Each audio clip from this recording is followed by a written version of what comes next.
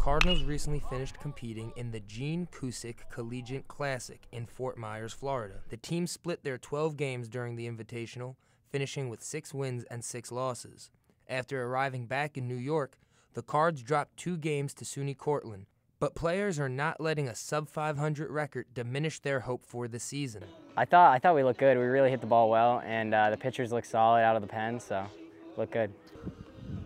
While the Plattsburgh Cardinals baseball team has not had much success in recent seasons capturing a championship, players on the team are hopeful that this season will start a winning culture here in Cardinal country.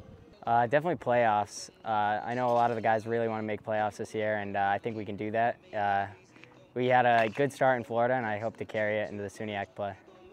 To make the playoffs and make a good run. I mean, winning. Winning is everything, honestly.